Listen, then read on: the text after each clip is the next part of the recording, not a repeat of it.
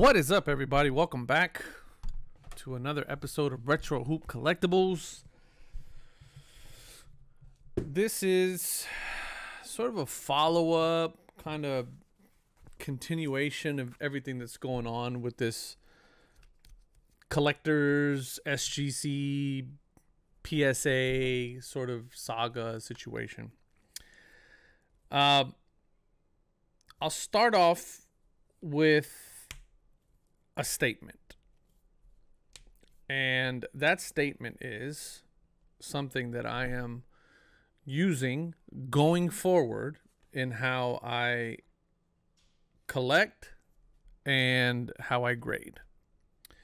And that statement is that at this moment, in my humblest of opinions, there is absolutely no reason to grade a single card with anyone else other than PSA.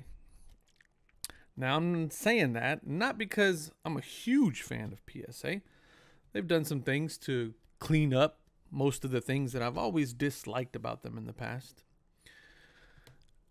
And they're, believe it or not, in the last two submissions that I've had with them, there's always this concept about there's that one oddball PSA 5 or PSA 6 that gets thrown into the mix of your submissions that kind of just leave you in dumbfounded, right? And of course, there's no grading report, there's no grader's notes, there's no recourse for you to go back and say, hey, this is an ultra modern card that was packed pulled. How did it get a six, right? You're kind of left to your own devices and really trying to figure it out. And, you know, I did a video on it if you guys want to check that out. I got a random PSA 6 or PSA 5 on one of my cards and I did a bit of a deep dive on it and turns out that I deserved that grade, believe it or not. I recently did another submission that I just got back um, where one of my cards, ultra modern card, great card, low numbered, hot rookie, um, came back and the card was damaged. Now, I don't remember damaging it and the damage that was on the card was so significant that I'm pretty sure I wouldn't have missed that. But again, I didn't record a video ahead of time, which I do now, by the way. I record high definition video in low lighting with a flashlight, every angle, every corner, every surface, just so that I don't miss anything that's like right in my face. But by and large, there's really no reason to grade with anybody else. Why am I saying that? CSG, let's face it, for sports, don't even waste your money. What's the point, right? For TCG, you can make an argument. But for sports cards, for me, there's no reason to go to uh, C- CGC or CGS or whatever they're called now. CGC, I think it is. The only thing that they got going for them is that they have a great great slab. Their acrylic is like looking through looking at a 8K movie versus a 720p, right? Um, that's the only thing they got really going for them. Uh, let's face it, BGS is sitting in the corner of the sandbox at elementary school eating a bottle of glue. Uh, nobody knows what's going on with those guys. Um, and then there's a lot of ancillary little mom and pop spots. Uh, you know, I was looking up HGA and they're just dead. I mean, I, I was a huge fan of those guys um, for the fact that they serviced a very niche market, which was folks that wanted custom labels on their on their cards. And then they are also the only ones that offer a horizontal slab. Uh, I'm still I'm still a big fan of the way this looks. I mean, shout out to Collect 3D Prints uh, who makes the uh, stands for those, but um, you know they're still the only one that makes a horizontal slab.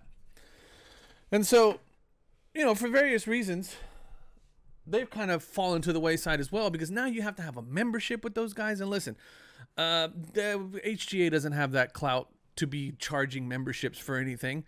There's no level of exclusivity that they provide that's going to give you any prestige in putting your cards in an HGA slab that would warrant me paying a monthly membership fee.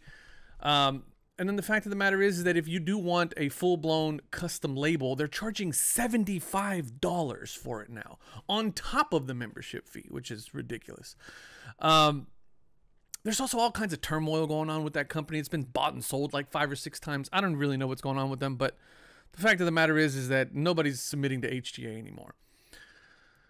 Uh, there's a bunch of other, uh, you know, if you're into the fully automated AI grading, there's a few services in there. Tag is the one that jumps out at me. Um, there's also some smaller mom and pop setups, uh, you know, local places that you can go get grades that are, let's just face it, encapsulation services.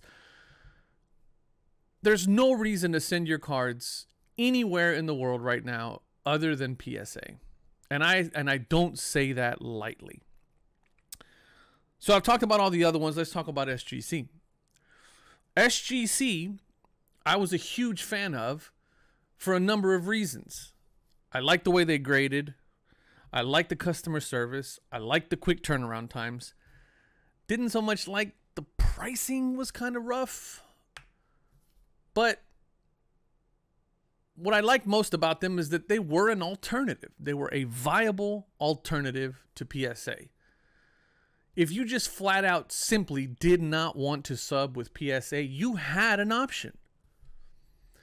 And I don't care what anybody says, that option was null and void the moment that they sold to the parent company, collectors, uh, that also owns PSA.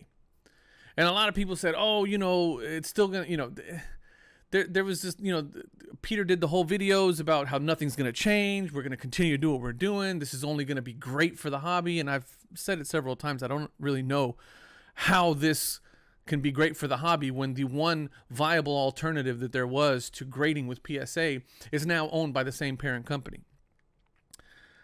It's still my contention that they're not going to be around come 2025.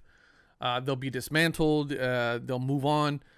And a lot of you have said I'm crazy, right? Like, oh, you're crazy. There's no way that collectors bought out that company just to do away with them. Uh, and and I just I, I don't agree with that. I, I there's no reason for them to keep them around. A lot of people say, well, the biggest thing that SGC has going for them is this great reputation. Well, that's great. Customer service and all that stuff, that's all great.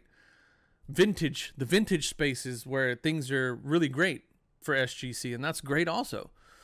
But if you get bought out and your competitor all of a sudden starts doing $14.99 vintage specials, essentially aiming at the one thing that you had subject matter expertise on, that tells me that the company that bought you out is trying to close you out. I'm a big so I was taught a long time ago, long time ago. Don't look at what I say, look at what I do. Don't look at what they say, look at what they do. And I don't care what anybody's saying. I'm looking at what PSA is doing. And what am I talking about? I'm talking about the specials that they got going on right now. There's a 14.99 vintage special, 1960 to 1979. There's a modern sports card special right now for 16.99. Both of those aimed, in my opinion, directly at SGC. So what's PSA doing? There's no way that you can sit here and tell me that those two grading specials are meant to help SGC in any way, shape, or form. Why? Why would they do that? Right? They're not they're not helping SGC. And I, I, I seriously think that this was maybe a version of their crack and resub with us type of scenario. I just don't see how anybody can sit here and really think that SGC is going to make it and and somehow that these two companies can exist under the same umbrella. For those of you that don't know or haven't been following my channel for very long, a large part of what I've done professionally has worked for a company that has been through a 4-year phase of strict merger and acquisitions. The industry that I was in, I used to work for one of the largest companies in that industry.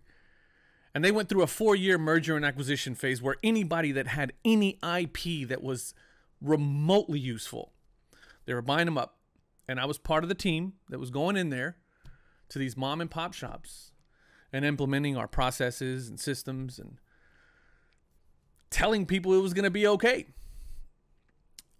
knowing damn well it wasn't going to be. I see a lot of this whole SGC is going to remain, SGC is sticking around, SGC is not going to change. Yeah, that may be true in the short term. I just don't think they're going to be around in the long term. Let me know what you guys think down in the comments. Uh, this has been a really interesting last couple of months for the hobby. Uh, and so I'm just curious where you guys think things are going. And I'm curious what you guys think about my thoughts. Uh, we'll catch you guys in the next video. Oh, sorry we didn't do a live this past Sunday.